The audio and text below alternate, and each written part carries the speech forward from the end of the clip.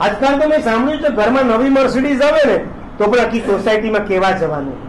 અમારી મર્સિડીઝ જોવા માટે આવશે. એમ કહીને પછી ઓલી વાઈફ ને એવી સામેવાળીના મોઢા સામે જોયા ત્યાં. પછી બહાર નીકળીને કે જોયું? કેવું મોં પડી ગયું તમે પરોપકારના ભંડાર છો કે ઈર્ષ્યાના ભંડાર છો? તમે જેલસીથી સળગી રહ્યા છો. યાદ રાખજો, ઈર્ષ્યાળુ આત્મા પરમાત્માના શાસનમાં પ્રવેશ માટે નો એન્ટ્રી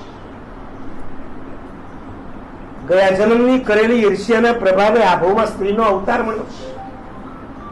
આભોમાં આ ધંધા કરશો તો આવતા જન્મમાં એટલું સારું છે, આ ભાવમાં તો મનુષ્યનો અવતાર તો મળ્યો. આવતા ભાવમાં મનુષ્યમાં સ્ત્રી નહીં ગઈ કરુણાના સાગર ને પરોપકારના ભંડાર છે.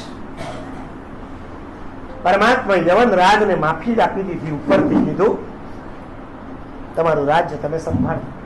અમારું જ પાછા વળ્યા સાંભળજો, ભગવાન પાર્શ્વનાથની જેની રોજ પૂજા કરો છો, જેની પૂનમ ભરવા જાઓ છો. શંખેશ્વરની પૂનમ. કેટલાક તો એવા હોય છે, આ શંખેશ્વરના દર્શન ન કરતા હોય અને છે ત્યાં પૂનમ કરવા જાય સારું છે આ કાળમાં અધિષ્ઠાયકો જાગતા નથી. એ તો લાફાઓ મારીને લાંબા કરી નાખે. ભગવાનનો આત્મા પાર્શ કુમાર જેવો પાછો વળ્યો, રાજા પ્રસેનજીતના દરબારમાં.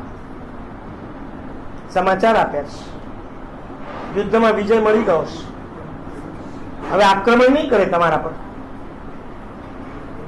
અને એ જ વખતે રાજા પ્રસેનજીતના જે શ્રાવિકા રાણી, એમની નજર પારસો પર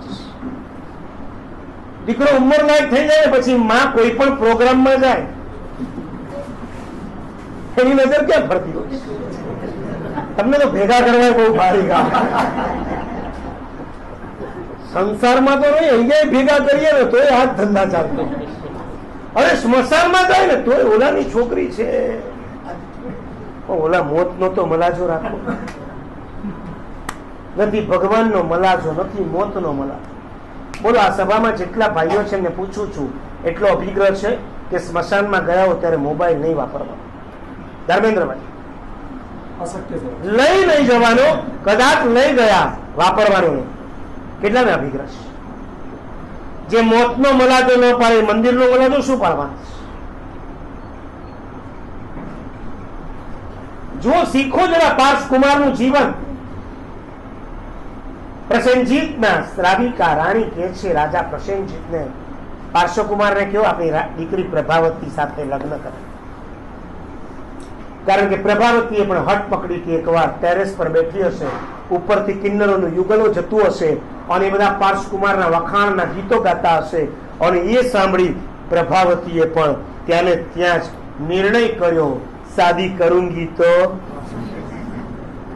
આગળનું નહીં આજના જેવું નહીં નહીં તો મેં જે આગળનું એ છોકરી નથી બોલતી શાદી કરુંગી એમ કે હઠ લઈને બેઠીશ પરણીશ તો પાર્શ્વને નહીં તો આ જન્મ કુવારી રાણીએ રાજાને વાત કરી, રાજા પ્રસન્નજીત પારસોને કહે છે બિરાજો અને આવ્યા છો તો મારી દીકરી સાથે લગ્ન કરીને છે હવે જોજો દીકરાને અમેરિકા મોકલો ને પછી બધું પતાવીને આવી જતો હોય છે.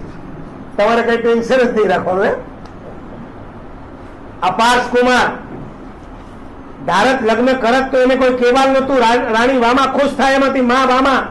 કારણ કે મા વામા તો ઉછળ કૂદ કરતી હતી. અશ્વસેન ને કહેતી હતી, દીકરો મોટો થયો છે, હવે એના માટે કોક દીકરી તો શોધો. કોઈ રાજકુમરી શોધો. મારે ઘેર વહુના પગલા થાય. જ્યારે જ્યારે પાર્શ્વની આગળ વાત કરી, ત્યારે ત્યારે પાર્શ કુમારે વાત ઉડાવી દીધી. કારણ કે આ જન્મ વૈરાગી પ્રસેનજીતને પાર્શ્વ કહે છે, મહારાજ, મારા બાપે છે ને મને યુદ્ધ કરવા મોકલ્યો છે, પરણવા નથી મોકલ્યો. સમજાય છે?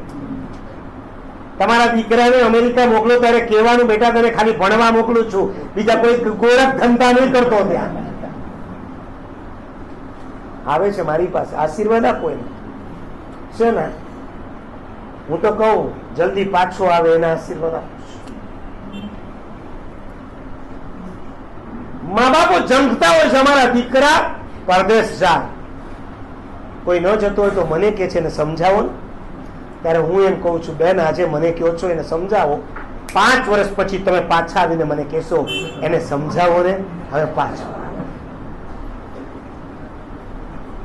ત્યાં આટા મારે છે? પુણ્ય તો આનું વાત છે ને, દેશ બદલાય છે. પુણ્ય નથી બદલાય છે વાત જુદી છે, ક્યારેક ક્ષેત્રને પામીને પુણ્ય ઉદયમાં આવે.